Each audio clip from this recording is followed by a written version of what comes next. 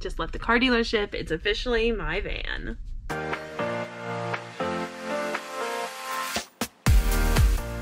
Before we get started, my name is Laura, and in 2020, I quit my job to travel full time. I did a ton of hiking, tried some amazing foods, and got to see some unbelievable places.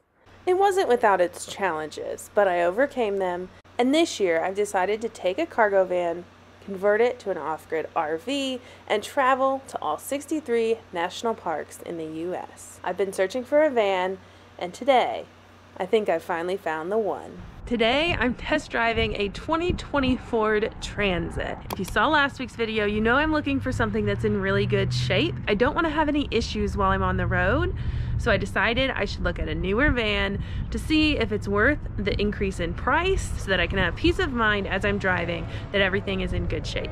Let's take a look at the 2020 Ford Transit. I'm sticking with the medium roof and the 148 inch wheelbase. I think that that's gonna be the best fit for me and hopefully get a little better gas mileage as I'm driving 20,000 miles across the country. Everybody knows I was really worried about the rust on the other van. This one looks excellent.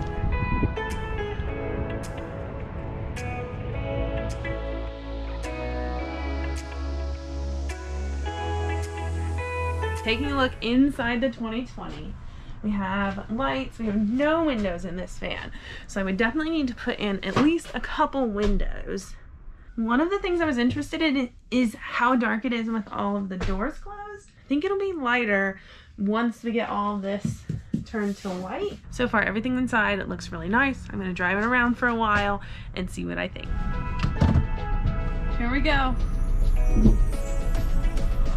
I feel like I'm on top of the world.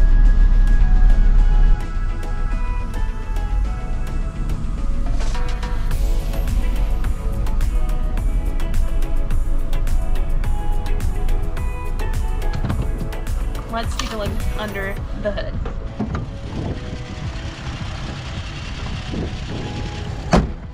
well, I've test driven it. I've looked all over the inside, all of the outside. It's easy to say that I definitely like this. It's very nice. Feels steady as I'm driving. It's quick to respond. All of the fun things. I think it's crazy to buy a brand new van that I'm immediately going to put holes in for windows and everything that I need. But I think that's what's going to happen. I definitely like this one. But it's more expensive. So I'm gonna have to think about it. I love it. I love it. I could totally see myself rebuilding this and taking it across the country. I'm gonna have to sleep on this one. I'll see you guys tomorrow. I went to the car dealership this morning and I filled out all the paperwork. Now Courtney is taking me to finally pick up the van. I'll have the keys in about five minutes and I can't believe that I finally bought a van.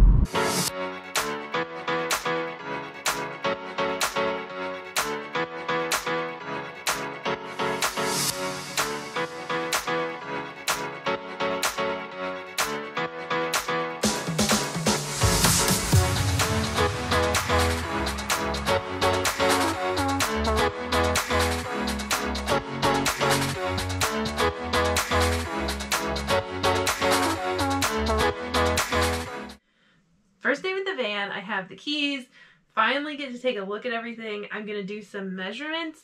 Not gonna do any work today, but I want to outline all the pieces to make sure they fit. And now that I have the van, it's time to start ordering everything that goes in it. When we're done, you'll be able to see the entire layout that I have planned for the van.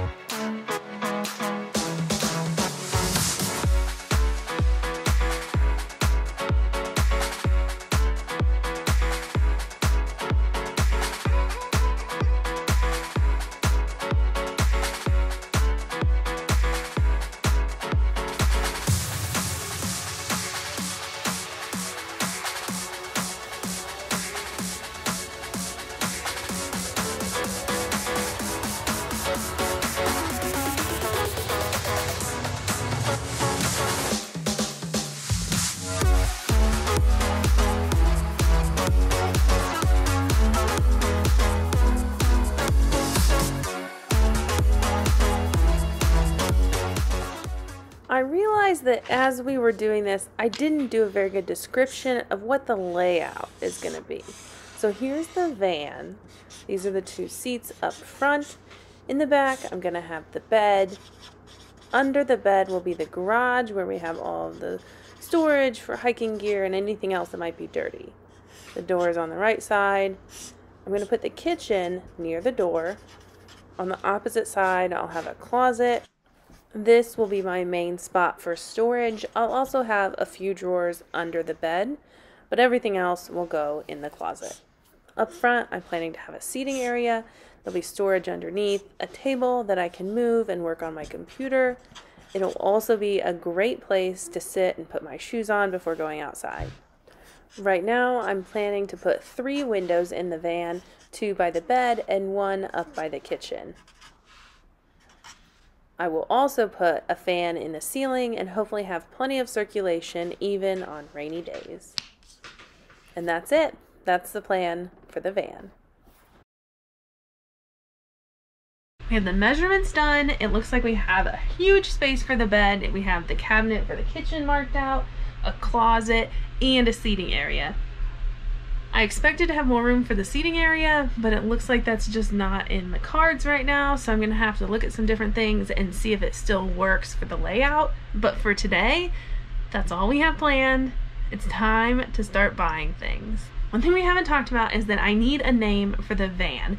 So if you have any ideas on what I should name the van, leave it in the comments. If it's your first time here, make sure that you subscribe. I'm getting ready to get this van set up and go visit all of the national parks in the US. This is just the first day, and I'm really excited for you to come along with us.